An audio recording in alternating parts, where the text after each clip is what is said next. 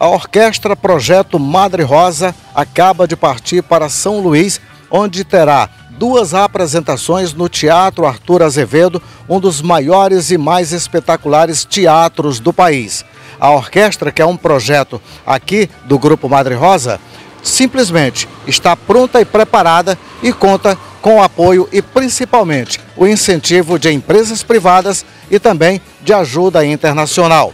Mas o grande feito nesta partida foi exatamente as palavras de incentivo do deputado estadual Roberto Costa. Nós temos uma orquestra com mais de 20 jovens que já estão na música, já tem um longo tempo, já estão preparados, já viajaram para fora do país e agora a gente vai para o Teatro Arthur Azevedo, serão dois dias de apresentação.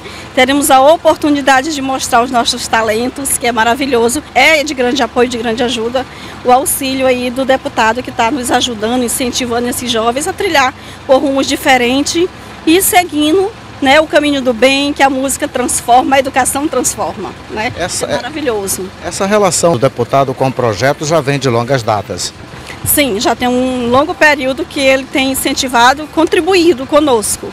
Então são essas ajudas que são somativas, que faz com que realmente conseguimos realizar os nossos sonhos, que é justamente cuidar dos nossos jovens e adolescentes da cidade de Bacabal e fazer com que eles realmente se tornem cidadãos de fato e de direito, somando com o que o projeto faz, com o que a escola faz, com o que a igreja faz e juntos, sociedade civil e poder público fazemos a diferença. Não é fácil, é, montar um grupo de música e fazer com que realmente aconteça, porque é, são inúmeras necessidades, não é só na música, mas é amplo, porque temos talentos diversos.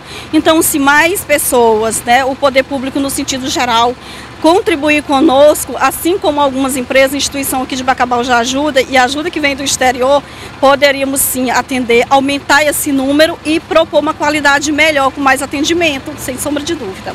Olha, primeiro eu fico muito feliz, né, de ser parceiro já há muitos anos de, dessa, desse trabalho, desse projeto da Orquestra Madre Rosa, um, é um projeto de música dentro das comunidades carentes na cidade de Bacabal e que tem se tornado uma, um, um projeto extremamente importante de dentro dessas comunidades, porque tem dado oportunidade para que os jovens dessas comunidades carentes possam também, através da música, é, buscar também a sua qualificação profissional, podem também ter uma oportunidade de lazer, se qualificando é, de forma segura. E eu acho que essas ações são tão importantes na cidade de Bacabal, principalmente dentro dessas comunidades. E a nossa alegria é de ver que esse projeto, durante os, os anos, ele tem crescido, ele tem se consolidado.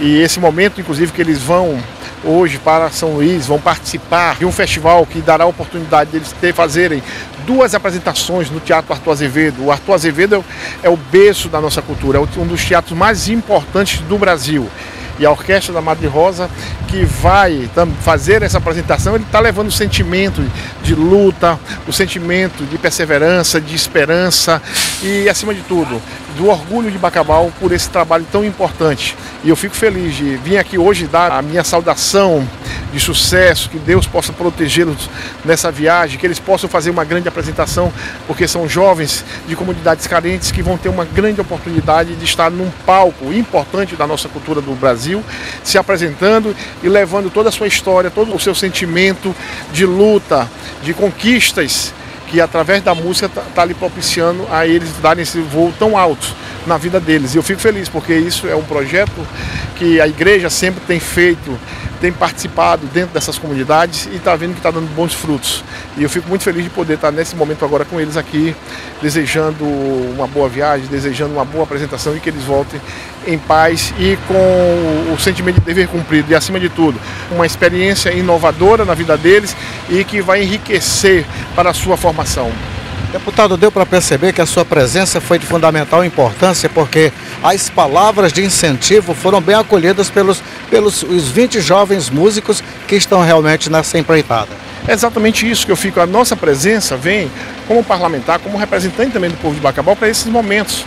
A gente acompanha esse trabalho da, da, da, orquestra já há muitos anos e essa oportunidade que eles estão tendo, esse festival, ele ia, ia acontecer é, há dois meses atrás, mas foi suspenso e foi mudar essa data. Mas graças a Deus ele está indo, está acontecendo e eles vão se apresentar, se Deus quiser, e fazer um grande sucesso lá representando a nossa cidade.